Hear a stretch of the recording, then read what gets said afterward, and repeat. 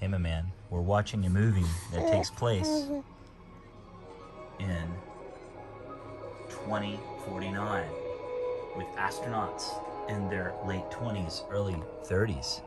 You will be one of them someday. That's why you like this movie so much. He's watching it, he's totally mesmerized by it. Yep.